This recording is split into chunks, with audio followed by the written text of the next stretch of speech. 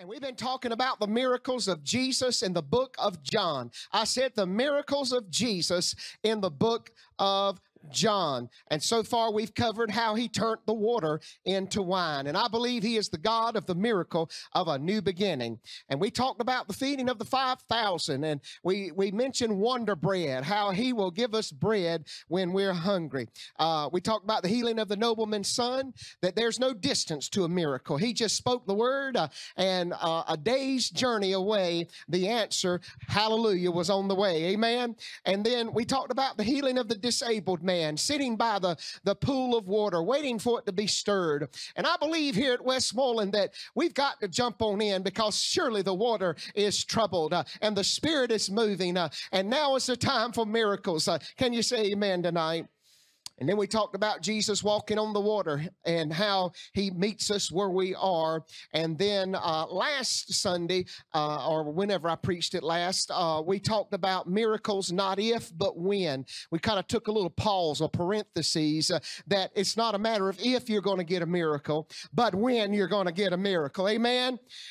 And so tonight we come to the sixth miracle of the book of John. The theme is this uh, uh, that yes, uh, we um, uh, need miracles, uh, but the theme is this do you believe in miracles? Would you stand with me tonight and turn to John chapter 9? I believe in miracles. Amen. And the miracle worker is in the house tonight.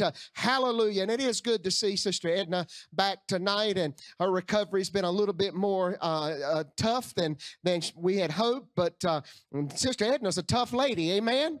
Uh, the devil's afraid of Edna Edna Pearson. I'm telling you right now, he don't want to mess with her, and so uh, she's completely going to be completely whole and and well, uh, and the miracle is here. Can you say Amen? John chapter nine verses one through seven. If you're there, say Amen. Would you see if your neighbor has it tonight? Just make sure they can see it. And as Jesus passed by, he saw a man which was blind from birth. And his disciples asked him, saying, Master, who did sin? Uh, this man or his parents uh, that he was born blind?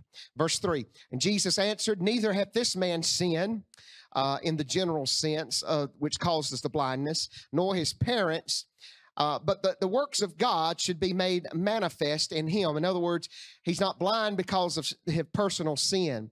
Now, we do know that all have sinned and come short of the glory of God. And if blindness was a result of sin, we would not be seeing none of us tonight. Amen.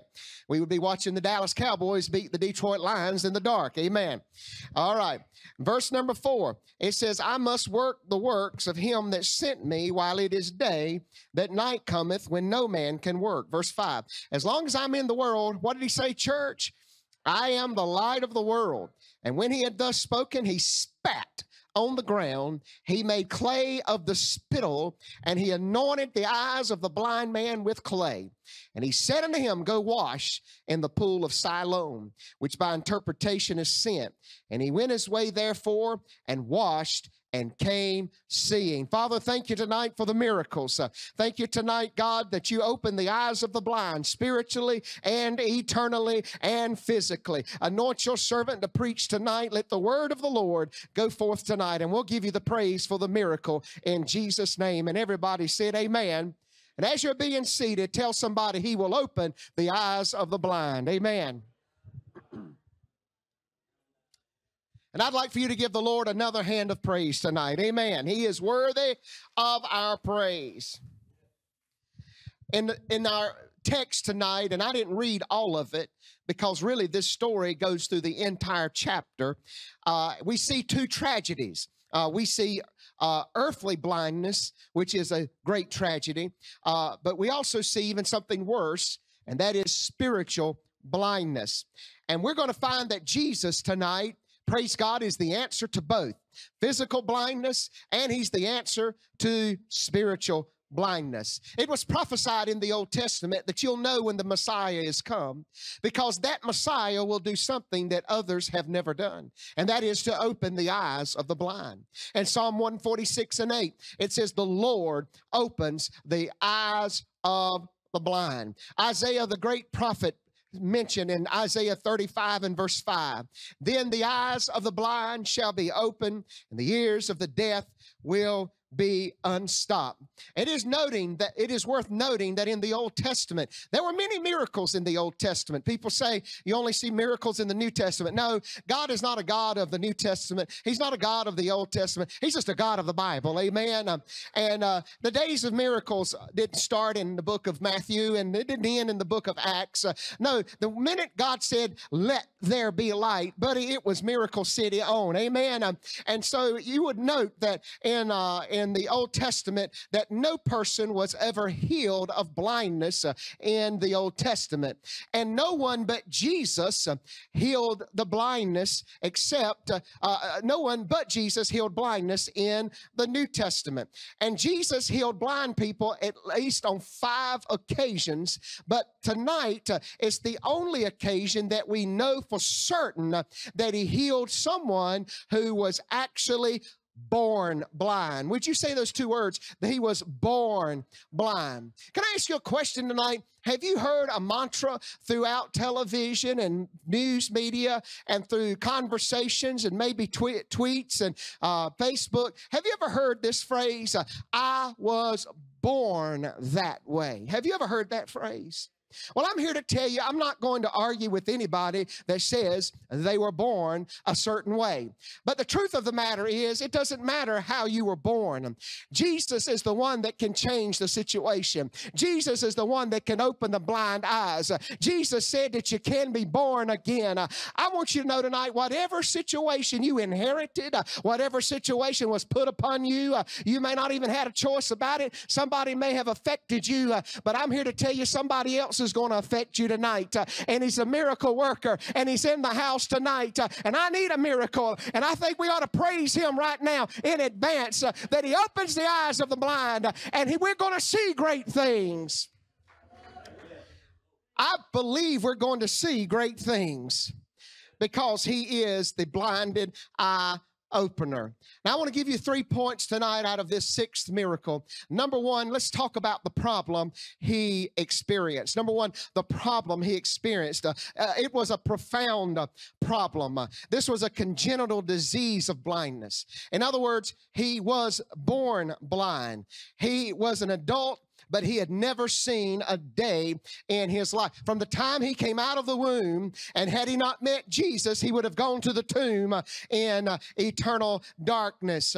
He had never seen a sunrise or a sunset. He'd never seen the beauty of the lilies uh, or the the uh, the different colors of the rainbow. He had never seen uh, his mother's face. he had never seen his own face. he was born blind. When pe- people talked about red and blue. They were just words to him.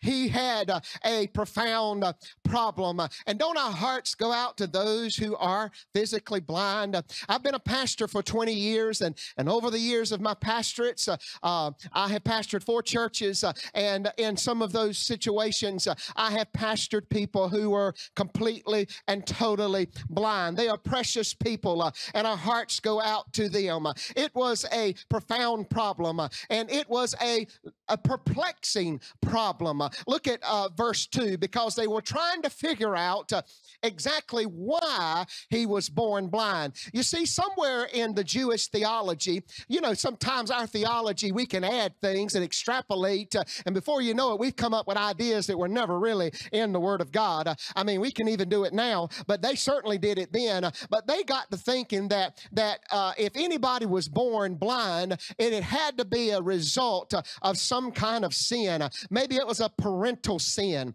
Maybe uh, he was conceived in an adulterous affair. Uh, maybe uh, the parents were uh, atheists, or maybe they didn't do all that God required. Uh, and so, uh, as a form of punishment, they gave God gave them a child that was born blind.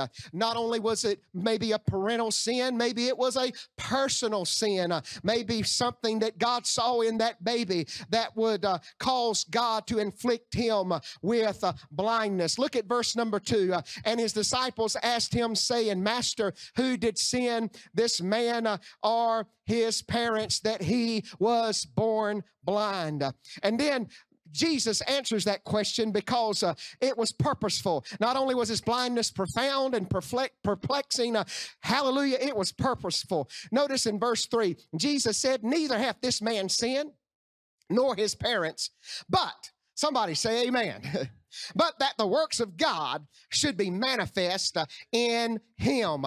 You see, Jesus said that sometimes in a fallen world, uh, things are going to happen. Uh, there's a time when the Tower of Siloam fell uh, and killed uh, innocent people. Uh, we can't attribute every act of nature, uh, and t- sometimes it rains on the just and the unjust. we don't understand why there's deformities or why there's certain afflictions that come upon humanity and different sickness and disease and infirmity. and we can't always say uh, it is because a certain person sinned. Uh, now, sometimes it might be. Uh, sometimes, and we better walk in the fear of the Lord. Uh, you know, he who gave seeing uh, can also take it away.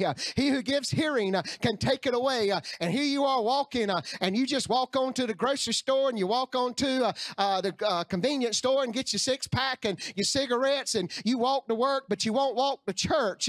and he who gives you the ability to walk sees that. and one day you may not have that ability to walk. Uh, are you saying God would do that? Uh, I don't know what God would do. He doesn't. Uh, he doesn't check with me before He does. Uh, I'll just say this: uh, if you got a seeing eye and you got a hearing ear and you can walk with two feet, uh, you ought to use. you ought to love the Lord God Almighty with all your heart, with all your mind, with all your strength, with all your body. If you got two eyes, praise Him. You got two ears, shout out glory. If you got a voice, you ought to raise it. if you got two feet, you ought to go around and tell the good news. Uh, somebody give him praise with those two hands tonight and celebrate the blessings on your life. But that was a purpose. Now, you've got to understand something very important that we take for granted. In those days, if people had deformed children, or child blind, or child deaf, they were sometimes killed. They were thought of as rubbish, as trash. You'll often read, even in the book of Acts, a man sitting by the gate begging because many times families would neglect uh, the children. Uh, there was a devaluing uh, of the life. Uh, look at Exodus chapter 4, and you see, uh, and you see when Jesus healed that man born blind, uh, he elevated all of God's creatures. he said in Exodus chapter 4 and verse 11, and he referred back to the God of the Old Testament, it should have been always. And the Lord said unto him, Who hath made man's mouth? Uh, or who maketh the dumb, or the deaf, uh, or the seeing, or the blind? Have not I the Lord? You've got to, people say, well, why does God make people deaf? Why does God make people blind? That's not the issue. The issue is this God said they have value in their life. I made them for a purpose. And we don't understand. We're not God.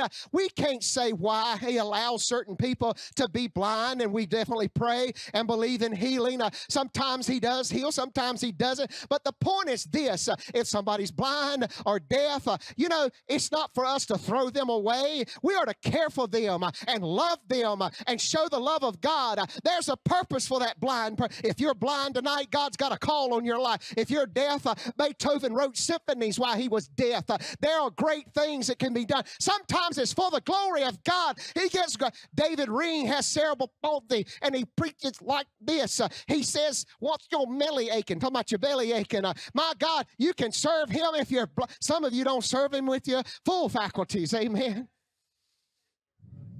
See, I was nice a few minutes ago. Now I'm meddling now. But you got to understand that when Jesus looked at him, he he elevated all. Don't you throw anybody away. I am got a purpose. I am a, a, a God that is able to do great things even with those who are born blind. In fact, the great hymn writer Fanny Crosby, and we had her here in our services a couple of years ago. And uh, uh, were any of you here when Fanny Crosby was here? I know some of you look at me like, really? Um, yeah, she was here. And uh, and uh, the great hymn writer Fanny Crosby was once asked if she was angry with God that she lost her sight at the age of six weeks. She actually, through a um, um, a doctor who gave her a wrong uh, medical prescription and diagnosis of something uh, actually caused her to be blind as a baby. She said, No, I'm not angry at God. I rather wish, she said, that I was actually born blind so that the face of Jesus would be the first thing that I ever see. I wish you just lift your hand and give him a sacrifice of praise. Uh, Lord, I'm going to praise you if I'm blind. Uh, like William Booth, he lost his eyesight. I'm going to praise you if I lose my limbs. Uh, I'm going to praise you if I can't even lift up my body. I, my, you, my, you are my being, uh, and you are, I bless you, God, and I praise you uh, for all of your goodness. Uh, would you know, one more time give him a hand of praise for that tonight? That's the problem. And then, number two, let's talk about the power he encountered. Because look at the sight he received. Look at John chapter 9, verses 6 to 7. And when he had thus spoken, Jesus spat on the ground and made clay of the spittle, and he anointed the eyes of the blind man. And I'm already crawling when I read this. Mm, I can't even imagine that. That just goes against my clean grain. Come on now. I mean, I'm just I'm all for hand sanitizer and and uh, I, you say that's that's not being human. No, I want to be cautious because I can serve God better when I'm well uh, versus having a sore throat and a runny nose. Amen.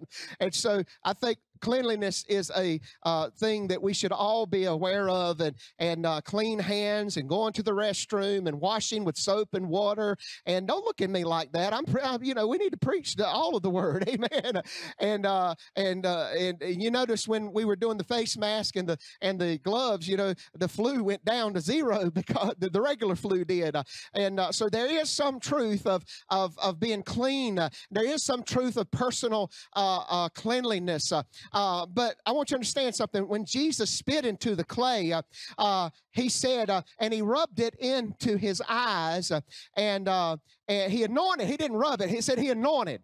Somebody say anointed. I love that word there, Pastor. Amen. It didn't say he he dabbed him. he didn't. Glory to God. He didn't say he he just kind of uh, washed him with it. Uh, it said he anointed. Glory to God. Uh, I tell you, the anointing breaks the yoke. Amen. Uh, he didn't just touch him. He anointed him. Uh, God has an anointing uh, even for those going through tri- trials and tests. he anointed the eyes of the blind man with the clay, and he said unto him, "Go wash in the pool of Siloam." My question is, he's blind. How can he get to the pool of Siloam? You know, he uh, he hadn't his eyes weren't healed at that moment.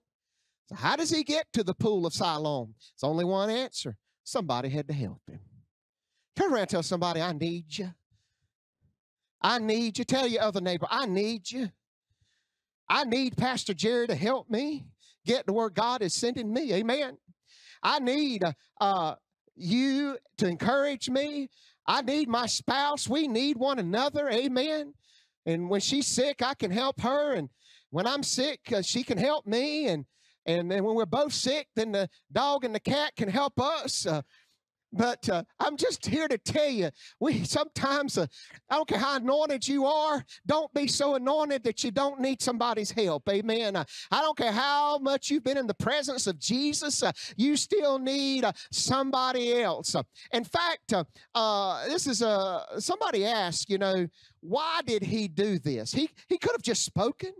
He could have done like Pastor Jerry does. You know how Pastor Jerry lays hands on you, sort of like this. Amen.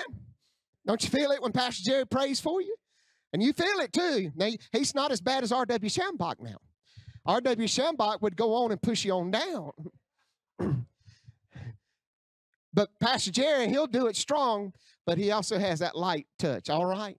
But Jesus could have just hit him like R.W. Schambach. He could have just spoke the word, but he sp- spittle and dirt and mud and anointed his eyes. Commentator Leon Morris suggests Jesus did it this way just to prove he could do it any way he wanted to. He healed one blind man by spitting on his eyes. He healed others with a touch. He could have healed this man with a word. And I just want you to understand something that Jesus heals in many different methods. Sometimes it's a personal testimony. Sometimes it's a song and healing will be released. Sometimes somebody can pick up a gospel tract in a hospital and healing will come. Sometimes through the word, through a sermon. And by the way, any anytime somebody gives a testimony, anytime somebody sings a song, anytime somebody preaches a sermon, isn't that really all that that is? Is really in a sense the divine touching this human clay. You know, I'm human clay. We're ashes to ashes and dust to dust. And in a sense, uh, we're all, no matter what God uses, in a sense, he always is using a human clay. Thank God for Cooper Peacock and his new baby grand piano. My goodness, brother, you're going to play that thing at your house, uh, but you're going to play it in God's house because I need help. Amen. Uh, praise God. Uh, we need God to use those talents. Uh, he's going to get on that clay. Amen. Uh, and he's going to anoint uh, and he's going to bless. somebody give him praise. I'm just a vessel of clay. And he's going to use in this sermon tonight to open the eyes of the blind spiritually and hopefully maybe even physically. Amen. Isn't it a beautiful thing when the divine touches the human? When the man that made the clay touches the clay and says, I will use you for the glory of God. And don't ever critique people's methods. Now, if it's an unbiblical method or if it's violates the scripture, it's not a critique, it's telling the truth. But there are certain methods and means, and there are differences of approaches, and there are ways of reaching people that I can't reach. And I know I'm a 51 year old man. I know I don't fit the mold of a, I wouldn't fit the mold of a biker for anything in the world. Me on a bike, then I am blind, or I will be hurt.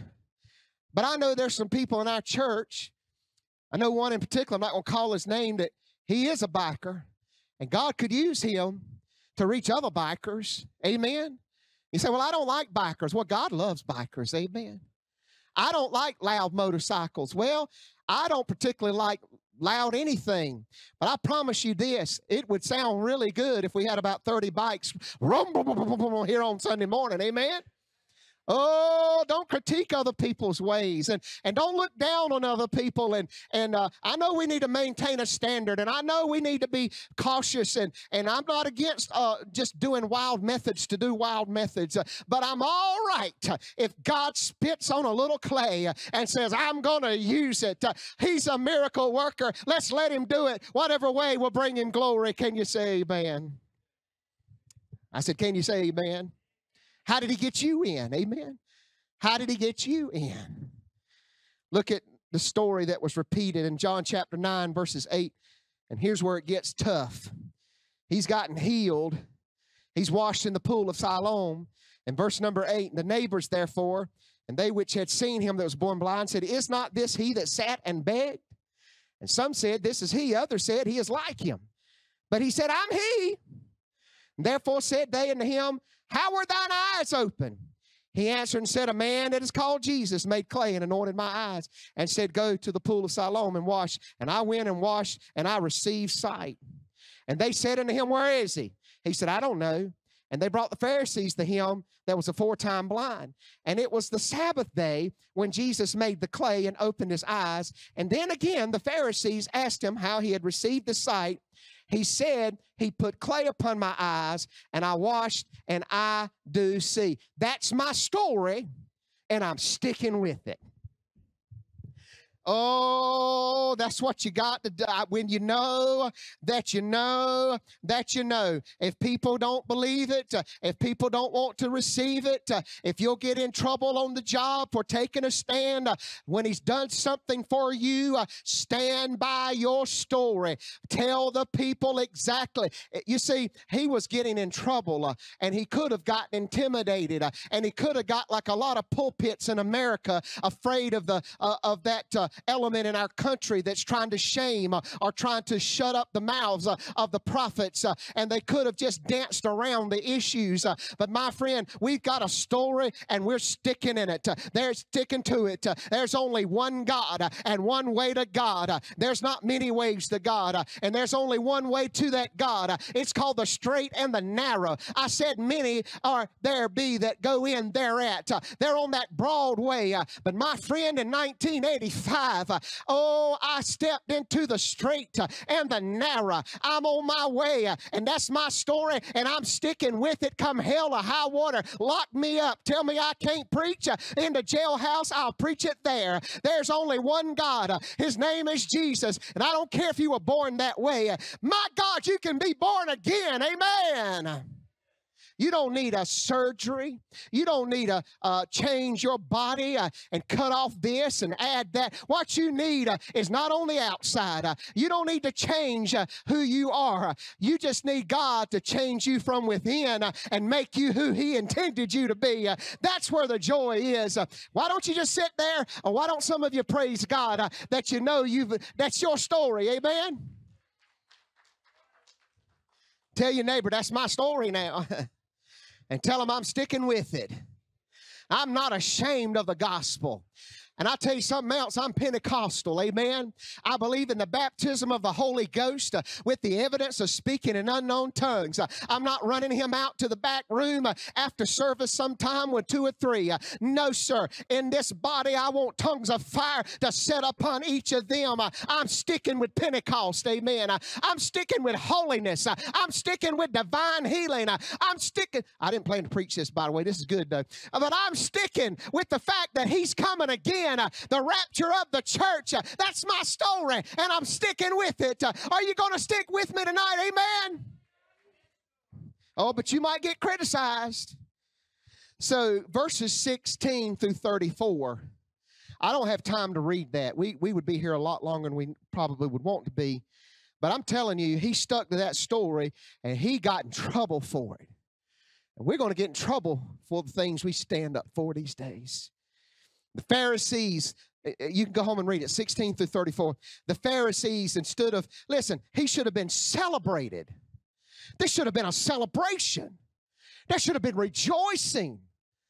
But oh my goodness, the Pharisees not celebrated him, but confronted him.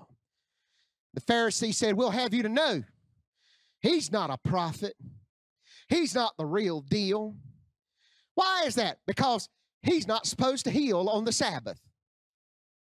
So he must be a false prophet. Uh huh. They questioned his parents. They went to his parents. They did an investigation. And they said, Is that your boy? Now, they were strong. They meant business now. He, they said, Yes, that's my son. And they said, Was he blind? He sure was all his life. Well, how is it that he can see now? And you know what they said? They said, Ask him. He's age. you see, the Bible says in verse 22, uh, these words spake his parents, uh, 9 in verse 22. These words spake his parents because they feared the Jews. For the Jews had already said that if any man did confess that he was Christ, he should be put out of the synagogue. He's going to be excommunicated. Now, we might not think that's a big deal, but when Jews excommunicated you from the synagogue, let me tell you, it was a big thing. They could not buy or sell. If you were excommunicated, you couldn't be employed in that community. If you were excommunicated, uh, if you were single, you couldn't get married in that community. And then if you were to die, if you were excommunicated, you couldn't have a proper burial. And so this family was being persecuted, and his parents didn't want to own up. They didn't want to confess Christ. And my friend, that's a good preaching point right there. You need to confess Christ, even if your parents don't, even if your children don't, even if your siblings don't, even if the whole world that man, they went back to that blind man and said, uh, Who did it? Uh, he said, Look, I'm not an expert on theology. I'm not an expert on ophthalmology. I'm not an expert on any ology.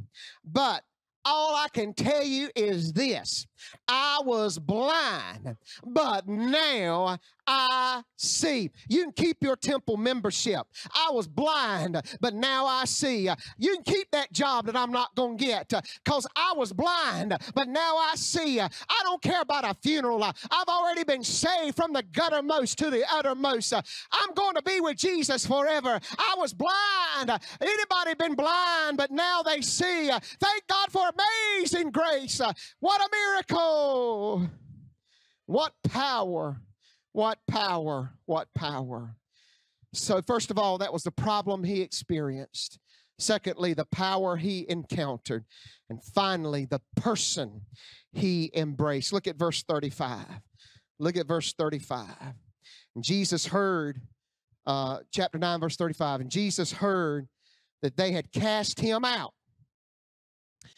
And sometimes you'll have to be cast out. Sometimes you won't be able to have your friends. That was a big problem before I got saved. And if you'll just keep that scripture up for a moment, Haley. But I remember one of the things that kept me from being saved in the seventh grade was I was in with the clique. I was in with the guys. And I knew if I got saved, there was only one other Christian, and he was what we would call the class nerd. Now, that's a term where he was more like a geek and a nerd and kind of you know, the person you wouldn't want to hang around with without being made fun of. And so during the summer of my after seventh grade, long story short, I gave my heart to the Lord. He saved me, and I made up my mind. I knew on the first day of eighth grade, I knew my buddies were going to be waiting for me. And I knew all I had to do was just hang around with them for five minutes, and I'll probably pull right back to that stuff. And I remember when I got off the bus, I was, guess who I was looking for? I was looking for the nerd. I was looking for the geek. and I remember walking down that, uh, that breezeway at Southern Nash Jr. And, and sure enough, my crowd of fellows was there. And this is before cell phones. This is before social media. I mean, we did not see each other during the summer. I mean, eh, it, nobody got on the phone. Guys didn't do that and sit on the phone all the time. The girls did, but guys didn't do it. And so there's my buddies and I was like, "Ooh, I felt the pull. I felt the pull." But I knew the Lord had saved me, and I was under temptation. But just beyond the fellas, I saw the nerd, I saw the geek. And I remember I walked right by them and they looked at me and I looked at them and they looked at me and they're like, Ricky, what are you doing? And I walked right on by and I went to the geek and I said, Hey man, how you doing? Uh, and and uh, and I just made my declaration that day that I didn't care if I was cast out. Uh, I wanted to follow Jesus all the way. Quit having one foot in the world uh, and one foot in the church. Uh, quit living a double life. Uh, if you're going to sing, if you're going to preach, if you're going to be a member of the church, don't go out there and live like the world, uh, dress like the world, uh, sleep around like the world. Uh, let me go, go to do some holiness preaching here tonight. Uh, thank God this blind man was willing uh, to go all in uh, for Jesus. I wish somebody would say amen. I said it's a straight and narrow way. I don't care what you say with your lips. is your heart in it tonight? has he opened your eyes? will you embrace the one who opened your eyes? Hey, he was cast out, but notice this he found him. Jesus found him. And he said unto him, Do you believe that I'm the Son of God? He answered and said, Who is he, Lord, that I might believe on him? Jesus said, You've both seen him, and it's he that talketh with thee. Verse 38. Did we get verse 37? Can we go back to verse 35? I want you to read all those scriptures. Go back to verse 35. Jesus heard that they had cast him out, and when they had found him, he said unto him, Dost thou believe on the Son of God? Verse 36. He answered and said, Who is he, Lord, that I may believe on him? Verse 37, and Jesus said unto him, Thou hast seen him, and it is he that talketh with thee. Verse 38, he said, Lord, I believe, and he worshiped him. I'm about to close here, but I want you to notice the progression. I'm going to go back through, and I don't know if I gave these scriptures or not. But there's a progression here. In John chapter 9 and verse 11, um, and I'm not sure if I gave you those scriptures or not, Haley, but John chapter 9 and verse 11, the man answered and said, A man that is called Jesus made clay. So, in that instance, the man born blind, his eyes open, he refers to Jesus as what? A man. Then go down to verse 17. And they said unto the blind man again, What sayest thou of him? And he said, He that opened his eyes, he said, He is a what? So you see the progression? He's a man, he's a prophet. And then if you go to verse 25, he said, whether he be a verse 35, uh, excuse me, verse 25. You're right, I'm wrong. That happens every now and then with a teenager. Uh, verse 25. And he said, whether he be a sinner or no, I know not. One thing I know, where's a blind I'm see? So he goes from being a man to being a prophet to being a good man. He's not a sinner. He's a good man. You see that? Then go to verse 33. If this man were not of God, verse 33, if this man were not of God, he could do nothing. So he goes from a prophet, a man, a prophet, a good man, and now he's a godly man. Because it says if he were not of God, he couldn't do this. So that means he is of God, which means he's a godly man. Are y'all with me tonight? A man, a prophet, a good man, a godly man. But finally, in verse 38, he says this Lord, I believe. And he worshiped. That's what it's all about. Jesus is more than a figure of history. He's more than just my grandma's Savior. He's more than a good man. He's more than just one of the prophets. He has opened my eyes. And I'm telling you, by grace, I didn't do it. He opened my eyes. And one day I said, Lord, can you just lift your hand and say, Lord, has He opened your eyes tonight? Oh, I know physical blindness is terrible, but spiritual blind, Lord, open the eyes of the blind. Let people see you as King of Kings and Lord of Lords, not just a historical figure, not just a biblical figure, but the one who is my Savior, the one who is my Lord. John chapter 9, verse 39. Jesus said, For judgment I'm coming to the world that they which see might not see, and they which see might be made blind. What's he talking about? People who reject Christ, they're blind.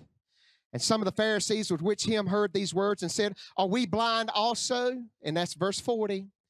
And now let's go to verse 41. And Jesus said unto him, If ye were blind, ye should have no sin. But now you say, We see, and therefore, isn't that the way people are? These, these people that are so open minded, these people that are so, quote, liberal. Well, there are many paths to God. We see things. Uh, we have a broad mind. We have a broad way of thinking. No, there ain't, but there is not. Excuse me, I'm from East Carolina. There is not but one way. Amen. Uh, and uh, and people who say they see, they're really blind. Look at Second Corinthians chapter 4, verse 3. And uh, we're, we're about done. Second Corinthians 4 and verse 3. But if our gospel is hid, it is hid to them that are lost and whom the God of this world hath blinded the minds of them which believe not. Lest the light of the glorious gospel, who is the image of God, should shine unto them. My urgent and my fervent prayer is that God would open the eyes of the blind, not just physically. When I pastored those blind folks, we prayed many times God would open their eyes he did not do that. But I tell you what was better. They knew the Lord and they had their spiritual eyes open. St. Augustine was once accosted by a pagan who showed him a small idol of wood. The unbeliever said, See, I can show you my God, but you cannot show me your invisible God. Augustine said, you are right that I cannot show you my God, but it's not because he is invisible. It's because you have no eyes to see him. Can you give him a hand of praise here tonight?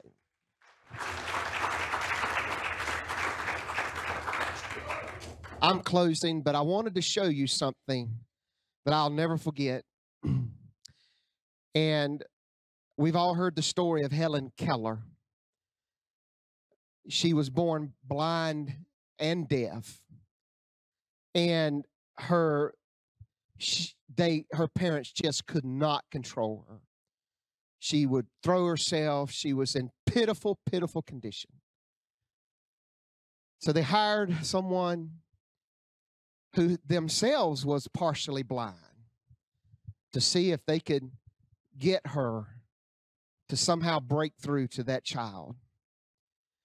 Well, the mom and dad just felt sorry for the child and let the child just run all over, sort of like regular parents I see a lot. Amen. And I'm not getting on you. Amen. I wish I had some kids to let them run all over. Amen. They're precious. Amen. But this lady put some strictness on that Helen Keller, and she wasn't used to that. And it was hard. It was a battle. It's hard enough with a child that can see and hear. I know not your child, but others. And not your grandchildren. I know they're perfect. Amen. Pastor, I'm starting to tread through lightly here. You might get a call this week. But uh, there's a movie, a 1950s movie about, it's called The Miracle Worker. Now, there's a 1970s or 80s movie that remade it, not near as good as the black and white. But I want Haley to show you the moment. If we go back to the beginning, where after all this tension, after all this work, finally, that poor girl sees the light. Go ahead and play it. Blow it up full screen if you can. W A T E R water. It has a name. W A T.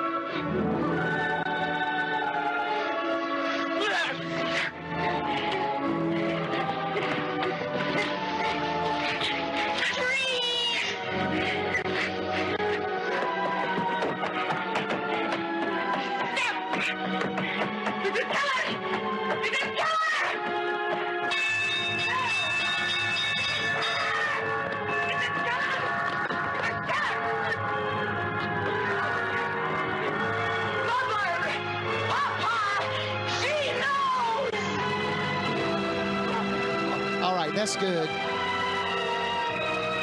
You can stand with me tonight. Let me tell you something. Brother, would you come and play Pass Me Not on Savior?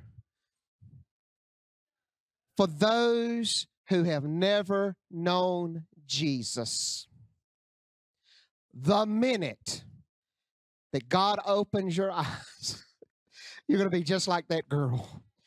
That's why Pastor Jerry dances all around. That's why we shout and rejoice.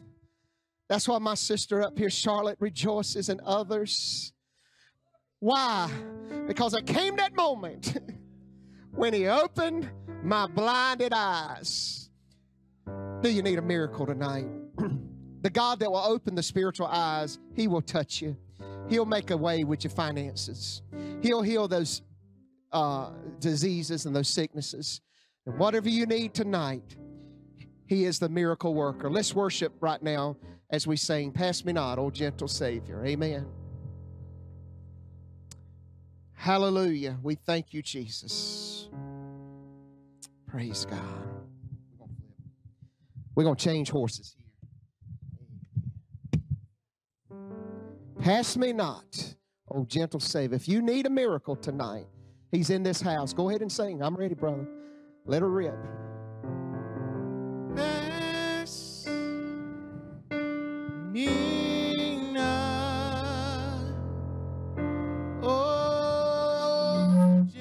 Savior.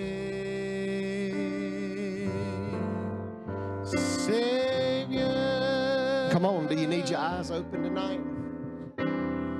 Need a miracle tonight? He's not going to pass you by. He's going to hear you.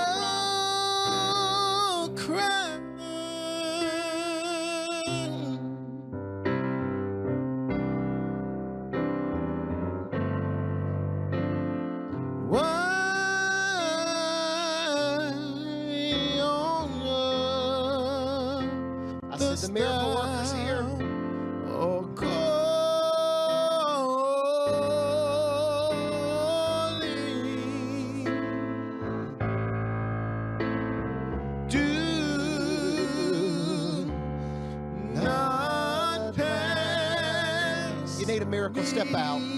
Come on.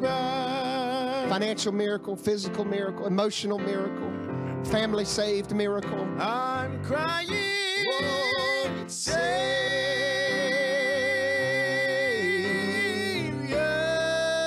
Let him open your eyes tonight. Save. Oh God, these are your children.